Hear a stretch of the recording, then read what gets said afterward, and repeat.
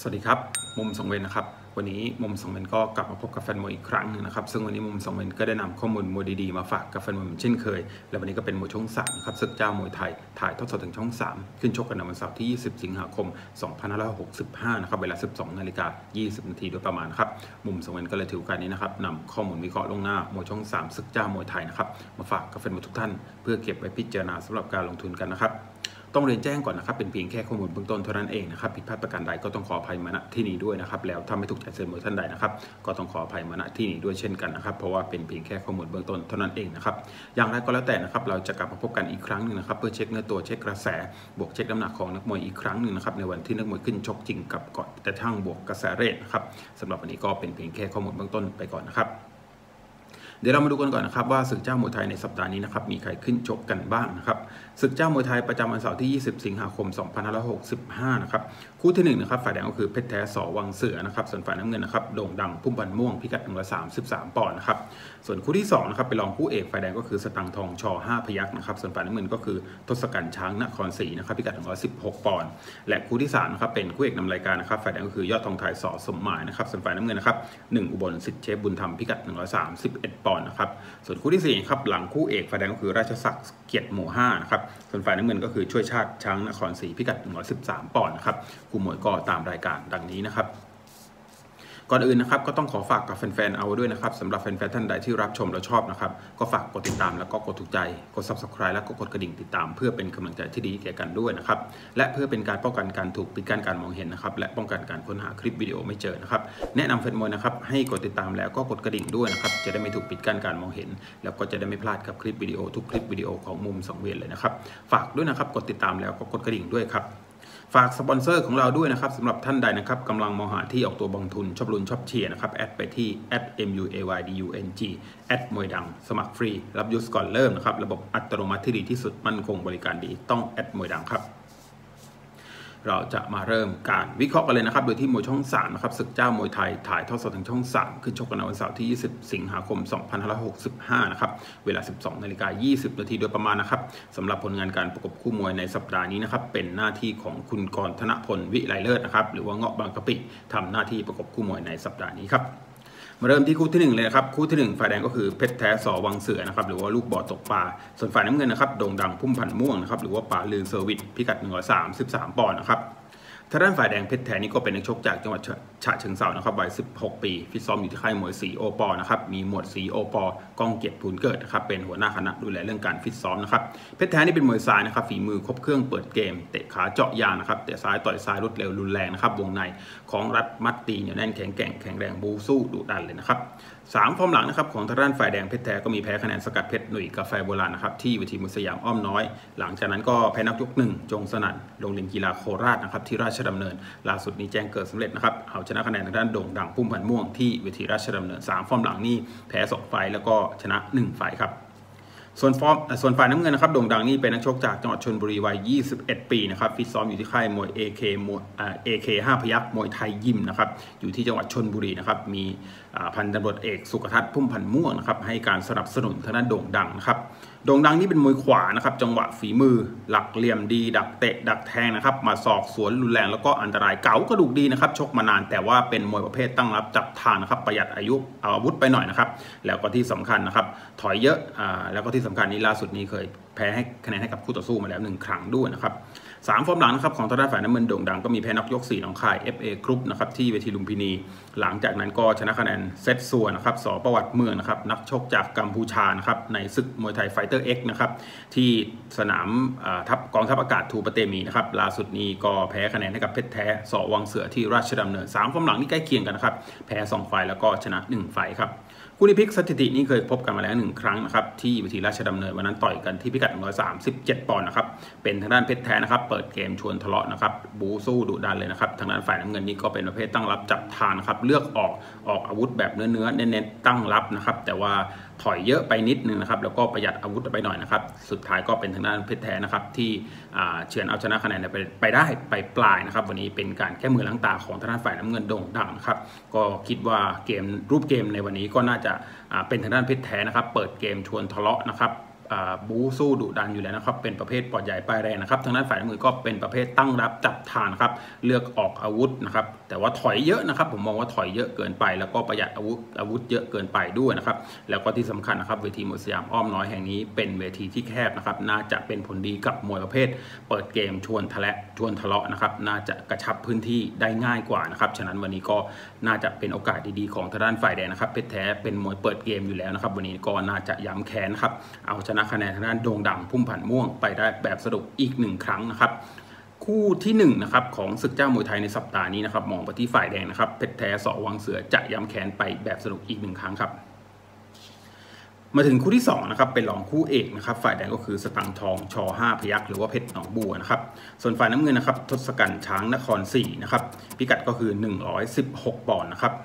ทางด้านฝ่ายแดงสตังทองนี่ก็เป็นนักชกจากจังหวัดศรีสะเกดวัย 17 ปีนะครับฟิตซ้อมอยู่ที่ค่ายมวยช5พยัคฆ์ปทุมธานีนะครับมีเสชายสุขโขทัยนะครับพัชนินมีจันนะครับเป็นหัวหน้าคณะนะครับดูแลเรื่องการฟิตซ้อมนะครับดีกีนะครับแชมป์ 108 ปอนด์ประเทศไทยนะครับสตังทองเป็นมวยขวานะครับเขาเปิดเกมเดินปั้มจับตีแข็งแรงนะครับตีนหน้าแรง เตะซ้ายแรงนะครับหมัดศอกส่วนรุนแรงแล้วก็อันตรายนะครับรูปร่างดีเลยนะครับสามฟอร์มหลังของทางด้านฝ่ายแดงสตังทองก็มีแพ้คะแนน เพชรทองคำนะครับเดชเพชรสีทองนะครับที่จังหวัดลพบุรีนะครับหลังจากนั้นก็ชนะคะแนนกล้องทัพยาสิทธทัพยานะครับที่เวทีอตกสามนะครับล่าสุดนี้ชนะคะแนนทูมอร์โรอีลิทกรุ๊ปอะคาเดมี่นะครับที่เวทีอตกสามนะครับสามฟอร์มหลังนี่ก็มีแพ้หนึ่งไฟต์แล้วก็ชนะไปถึง2ไฟต์เลยนะครับ ส่วนฝ่ายน้ำเงินนะครับทศกัณฐ์นี่เป็นนักชกจากนครศรีธรรมราชวัย 21 ปีนะครับเดิมทีก็ฟิตซ้อมอยู่ที่ค่ายมวยเกตเทอริสนะครับอยู่ที่นครศรีนะครับโดยมีเสี่ยช้างนครศรีนะครับเป็นหัวหน้าคณะใกล้ๆวันชกก็จะมาเก็บตัวทั้งน้ำหนักต่ออยู่ที่ TBM ยิมนะครับ โดยมีทางด้านเสี่ยตั้มกีรติเจริญลาภนะครับเป็นคุณควบคุมดูแลเรื่องการฟิตซ้อมนะครับทางด้านทศกัณฐ์นี่เป็นมวยขวานะครับฝีมือครบเครื่องแข้งขวาแรงหลักเหลี่ยมดีอาวุธเร็วหมัดศอกรุนแรงนะครับปล้ำรัดมัดตีแข็งแกร่งแข็งแรงเลยนะครับเคยขึ้นรายการนะครับให้ ไปชิงแชมป์110ปอน 112 ปอนด์นะครับเวทีมวยสยามอ้อมน้อยนะครับกับปตักหินนะครับแต่สุดท้ายก็เลื่อนไปนะครับไม่ได้ชกนะครับ วันนี้ก็ได้มาขึ้นชกกับสตังทองแทนนะครับสามฟอร์มหลังนะครับของทางด้านฝ่ายน้ำเงินทศกัณฐ์ก็มีพลิกชนะคะแนนสิงเหพีเคแสนชัยมวยไทยยิมนะครับที่เวทีมวยสยามอ้อมน้อยนะครับวันนั้นมาเข้าเวรแทนก็พลิกชนะคะแนนสิงเหไปนะครับ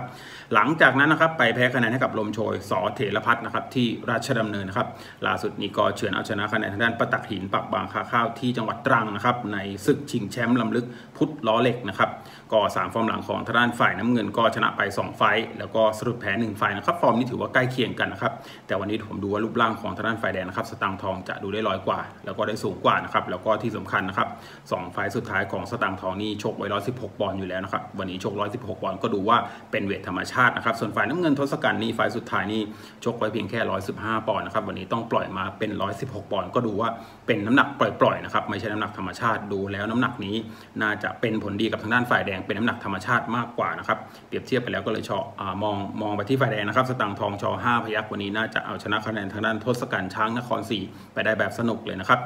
คู่ที่2นะครับคู่รองคู่เอกของศึกเจ้ามวยไทยในสัปดาห์นี้นะครับมองไปที่ฝ่ายแดงนะครับสตังทองชอ5พยักครับ มาถึงคู่ที่3นะครับเป็นคู่เอกนำรายการนะครับฝ่ายแดงก็คือยอดธงไทยสอสมหมายนะครับหรือว่าปอเตลกุล ส่วนฝ่ายน้ำเงินนะครับหนึ่งอุบลสิทธิเชฟบุญธรรมนะครับหรือว่าชอโชคบัญชาพิกัด 131 ปอนด์นะครับ ทางด้านฝ่ายแดงยอดทองถ่ายนี่เป็นนักชกจากจังหวัดพัทลุงนะครับวัย 28 ปีนะครับฟิตซ้อมอยู่ค่ายมวยสอพงอมรนะครับมีเสียมอนผักสดนะครับพงอมรพิกุลชัยพัฒนะครับเป็นหัวหน้าคณะดูแลเรื่องการฟิตซ้อมนะครับแล้วก็มีเสียสมหมายสกุลเมตตานะครับประธานกลุ่มพลังใหม่นะครับเจ้าของสีเสื้อให้การสนับสนุนของทางด้านยอดทองไทย ยอดทองไทยนี่ก็ดีกีแชมป์ 130 ปอนด์เวทีราชดำเนินนะครับเป็นมวยประเภท 2 แข้ง 2 กาดจังหวะฝีมือหลักเหลี่ยมดีนะครับเชิงดีดักเตะดักแทงอาวุธเร็วนะครับเชิงชกฉลาดขวางหน้าแทงหมัดศอกสวนรุนแรงแล้วก็อันตรายเก๋ากระดูกดีนะครับ ชกมานานนะครับ แต่ด้วยวัย 28 ปีแล้วด้วยสภาพร่างกายก็อาจจะดูไม่ค่อยดีนะครับ โดยที่ 3 ฟอร์มหลังนะครับ ของทางด้านฝ่ายแดงยอดทองไทยมีแพ้คะแนนเพชรพังงานมรัตนบัณฑิตนะครับที่วิทีมือสยามอ้อมน้อย หลังจากนั้นก็แพ้คะแนนเพชรวสอนบอยบางนา ที่เวทีราชดำเนินนะครับ วันนั้นโดนสอบ เสียอาการนะครับแล้วก็พลิกแพ้ไปนะครับล่าสุดนี้แจ้งเกิดสำเร็จนะครับชนะคะแนนเด็ดดวงเล็กทีเด็ด 99 ที่เวทีมวยสยามอ้อมน้อยนะครับสามฟอร์มหลังของทางด้านฝ่ายแดงก็แพ้ไป 2 ไฟแล้วก็ชนะ 1 ไฟครับส่วนทางด้านฝ่ายน้ำเงินหนึ่งอุบลนะครับเป็นนักชกจากนครราชสีมานะครับวัย 18 ปีนะครับเจ้าของดีกีเจ้าของแชมป์3เส้นนะครับแชมป์130 ปอนด์เวทีมวยสยามอ้อมน้อย ประเทศไทย แล้วก็ล่าสุด IMC ด้วยนะครับแล้วก็เจ้าของสถิติสุดโหดนะครับชกที่เวทีเมืองกรุง 4 ปี 4 ปีละล่าสุดนะครับสะดุดแพ้เพียงแค่ 2 ไฟเท่านั้นเองนะครับที่ที่เหลือ 22 ไฟชนะรวดเลยนะครับแพ้เพียงแค่ 2 ไฟเท่านั้นเองนะครับก็ถือว่าเป็นสถิติที่สุดโหดเลยนะครับคู่นี้ต้องบอกว่าแชมป์ชนแชมป์นะครับทางด้านฝ่ายน้ำเงินนะครับหนึ่งอุบลนี่เป็นมวยขวานะครับฝีมือครบเครื่องตีนหน้าแรงนะครับหมัดศอกคมฉลาดหลักเหลี่ยมดีนะครับอาวุธเร็ววงในไล่แขนปั้มตีแข็งแกร่งแข็งแรงนะครับหนุนศพหนุ่มสดห้าวแล้วก็ร่างกายดีกว่านะครับสามฟอร์มหลังนะครับของทางด้านฝ่ายโดยที่ฟอร์มหลังๆนะครับของทางด้านฝ่ายน้ำเงินนะครับหนึ่งอุบลนะครับชนะคะแนนฟ้าเป็นหนึ่งพอหลักบุญที่วิธีมวยสยามอ้อมน้อย 3 ครั้งเลยนะครับแล้วก็คว้าแชมป์3เส้นนะครับมีแชมป์ประเทศไทยครั้งแรก หลังจากนั้นก็แชมป์วิธีมวยสยามอ้อมน้อยล่าสุดนี้ก็แชมป์ IMC 130 ปอนด์นะครับก็ดีกีแชมป์3เส้นเลยนะครับแต่ว่าล่าสุดนะครับล่าสุดนี้ไปแพ้คะแนนให้กับสมิงดำชออัจจรบุญที่วิธีช่องเจ็ดสีวันนั้นวันนั้นแพ้ไปแพ้กระดูกนะครับแพ้กระดูกไปนะครับสามฟอร์มหลังของทางด้านฝ่ายน้ำเงินก็ชนะไป2ไฟแล้วก็สะดุดแพ้1ไฟนะครับก็ถ้าเทียบกันที่ฟอร์มนี่ดูว่าทางด้านฝ่ายน้ำเงิน จะได้เปรียบเรื่องฟอร์มการชกนะครับแต่ว่าชื่อมวยกระดูกมวยพันสามวยนี่อยู่กับทางด้านฝ่ายแดงแน่นอนนะครับยอดทองไทยแถมมีหลักเหลี่ยมดีด้วยนะครับประสบการณ์สูงหลักเหลี่ยมมวยเชิงมวยดูดีกว่านะครับแต่ว่าสภาพร่างกายดูว่าทางด้านฝ่ายน้ำเงินนะครับหนึ่งอุบลจะดูดีกว่านะครับแชมป์ชนแชมป์นะครับคู่นี้ต้นๆจังหวะฝีมืออาจจะดูเป็นรองทางด้านฝ่ายแดงนะครับยอดทองไทยสอสมหมายนะครับแต่ว่า ยืนระยะปลายปลายนี่ผมดูว่าร่างกายของทางด้านฝ่ายน้ำเงินนะครับหนึ่งอุบลน่าจะยืนระยะได้มั่นคงกว่านะครับ หน้าหนึ่งอุบลก็น่าจะน่าเปิดเกมนะครับ ทีมงานน่าจะสั่งเปิดเกมตั้งแต่ต้นๆนะครับ เพื่อจะบดบี้ให้กับทางด้านฝ่ายแดงนะครับ ยอดทองไทยยุบย่นไปปลายให้ได้นะครับ เพราะว่าด้วยวัย 28 ปีนะครับโดนบทหนักๆ ก็มีโอกาสที่จะยุบแผ่วได้เหมือนกันนะครับทางนั้นฉะนั้นนะครับ ผมมองว่าทีมงานของทางด้านฝ่ายน้ำเงินหนึ่งอุบลน่าจะสั่งเดินปั๊มตั้งแต่ต้นๆเลยนะครับ เพื่อที่จะให้ฝ่ายแดงยุบ ให้ได้นะครับ มองดูแล้วถ้าฝ่ายแดงยุบก็น่าจะเข้าทางทางด้านฝ่ายน้ำเงินหนึ่งอุบลสิทธิเชฟบุญธรรมนะครับวันนี้ผมมองไปที่ฝ่ายน้ำเงินเลยนะครับหนึ่งอุบลสิทธิเชฟบุญธรรมนะครับจังหวะฝีมือหลักเหลี่ยมดูเป็นรองนะครับแล้วก็ชื่อมวยก็ดูเป็นรอง แต่ว่าสภาพร่างกายดูดีกว่านะครับไปปลายน่าจะยืนระยะได้มั่นคงกว่า แล้วก็น่าจะเฉือนเอาชนะคะแนนรุ่นพี่อย่างยอดทองไทยสอสมหมายไปได้แบบสนุกเลยนะครับคู่เอกนะครับของศึกเจ้ามวยไทยในสัปดาห์นี้นะครับมองไปที่ฝ่ายน้ำเงินนะครับหนึ่งอุบลสิทธิเชฟบุญธรรมครับ ฝากสปอนเซอร์ของเราด้วยนะครับสำหรับท่านใดนะครับกำลังมองหาที่ออกตัวบางทุนชอบลุ้นชอบเชียร์นะครับ แอดไปที่ @muaydung แอดมวยดังนะครับ สมัครฟรีรับยูสก่อนเริ่มนะครับ ระบบอัตโนมัติที่ดีที่สุดมั่นคงบริการดีต้องแอดมวยดังครับมาต่อกันที่คู่ที่4นะครับซึ่งเป็นหลังคู่เอกนะครับฝ่ายแดงก็คือราชศักดิ์เกียรติหมู่5นะครับหรือว่าทอเพชรชระนะครับส่วนฝ่ายน้ำเงินนะครับช่วยชาติช้างนครศรีนะครับหรือว่าเกียรติชวริตพิกัด 113 ปอนด์นะครับ ทางด้านฝ่ายแดงราชศักดิ์นี่ก็เป็นนักชกจากจังหวัดพัทลุงนะครับวัย 17 ปีนะครับฟิตซ้อมอยู่ที่ค่ายมวยเกียรติโมห้าอยู่ที่พัทลุงนะครับมีคุณสุริชาติชัยชาญนะครับดูแลเรื่องการฟิตซ้อมนะครับราชศักดิ์นี่เป็นมวยขวาครบเครื่องสูงยาวเข่าแหลมนะครับของรัดมัดตีรุแรงบูสู้ดุดันเลยนะครับสามฟอร์มหลังของราชศักดิ์นะครับมีชนะนอกยก 3 ยอดสิงห์ดำเกียรติกำธรนะครับที่วิธีมือสยามอ้อมน้อย หลังจากนั้นก็แพ้นอกยก3นะครับให้กับขจรศักดิ์สีโอปอที่ราชดำเนินนะครับวันนั้นดูโดนลูกลูกบาทาลูกพักเข้าไปแล้วก็พ่ายนอกไปในยกที่3นะครับล่าสุดนี้ลองตายไปนะครับ ชนะนอกยก2นะครับอยอดขุนศึกชอสุกมายิมที่นครศรีธรรมราชนะครับในศึกสอภูมิพัฒน์นะครับสามฟอร์มหลังนี้ชนะไป 2 ไฟนะครับแล้วก็สะดุดแพ้ 1 ไฟครับ ส่วนทางด้านฝ่ายน้ำเงินนะครับช่วยชาตินี่เป็นนักชกจากนครศรีธรรมราชวัย 17 ปีนะครับฟิตซ้อมอยู่ที่ค่ายมวยเกียรติเทวริตนะครับมีคุณมีเสียช้างนครศรีนะครับเป็นหัวหน้าคณะดูแลเรื่องการฟิตซ้อมนะครับเป็นมวยขวานะครับครบเครื่องแข้งขวาแรงตีนหน้าเร็วนะครับหมัดศอกอันตรายนะครับเขาเขาโยนแทงนะครับ หลักเหลี่ยมดีนะครับ บูสู้ดุดันกระแลกกาส่วนหัวจิตหัวใจเกินร้อยเลยนะครับสามฟอร์มหลังนะครับของทางด้านฝ่ายน้ำเงินช่วยชาติก็มีชนะคะแนนเบิกบานเกตเจริญชัยที่จังหวัดพัทลุงนะครับแล้วก็หายไปประมาณ 2 ปีนะครับกลับมาในไฟล่าสุดขับมาในรอบ 2 ปีนะครับก็แพ้คะแนนกับยอดอันดามันยอด ยออันดามันที่ราชดำเนินนะครับ วันนั้นไปเข้าเวรแทนก็แพ้ไปท้ายๆนะครับล่าสุดนี้ก็ล่องใต้ไปรายการเดียวกับทางด้านฝ่ายแดงราชศักดิ์นะครับ ไปแพ้คะแนนให้กับวันวิเศษสอเดชพันธ์นะครับที่จังหวัดนครศรีนะครับในศึกสอภูมิพัฒน์นะครับสามฟอร์มหลังของทางด้านฝ่ายน้ำเงินนี่ชนะ1ไฟต์แล้วก็สรุปแพ้ไป2ไฟต์นะครับเทียบกันที่ฟอร์มนี่ดูว่าทางด้านฝ่ายแดงนะครับฟอร์มอาจจะดูได้เปรียบนะครับคู่นี้ล่าสุดนี่ไปชกที่นครศรีรายการเดียวกันนะครับในศึกสอภูมิพัฒน์นะครับแต่ว่าทางด้านฝ่ายแดงราชศักดิ์นี่เอาชนะน็อกคู่ต่อสู้มานะครับส่วนฝ่ายน้ำเงินช่วยชาตินี่แพ้คะแนนให้กับคู่ต่อสู้มานะครับเทียบกันที่ฟอร์มแล้วดูว่าฟอร์มของธนาฝ่ายแดงราชศักดิ์จะดูดีกว่านะครับวันนี้ก็เลยมองไปที่ฝ่ายแดงนะครับราชศักดิ์เกียรติหมู่ห้าวันนี้น่าจะเอาชนะคะแนนทางด้านช่วยชาติ ช้างนครศรีไปได้แบบสนุกคู่ขี้เลยนะครับ